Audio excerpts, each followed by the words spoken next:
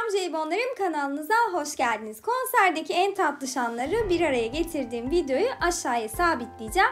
Oradan bizimkiler nasıl eğlenmişler izleyip mutlu olabilirsiniz.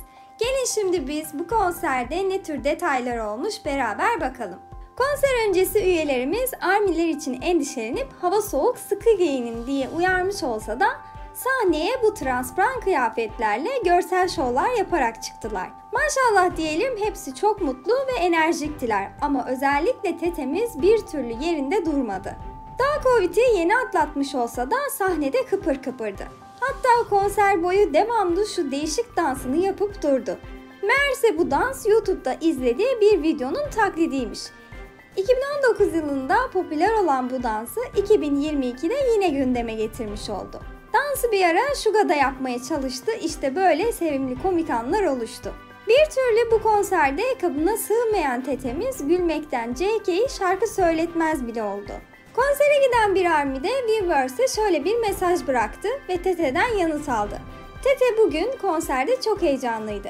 Sanki 20'li yaşların başında gibi davranıyordu. Bunu izlemek keyifliydi. Taeyang'da içerisinde birçok kişilik olduğunu, bunun için özürlerini diledi. Konserimizde diğer dikkat çeken üyemiz ise Jimin'di. Çünkü yeni iki tane dövme yaptırmıştı. Bir tanesi kulağının arkasında olan tam net okunmayan, diğeri ise hemen ensesinin altında olan hilal dövmesiydi.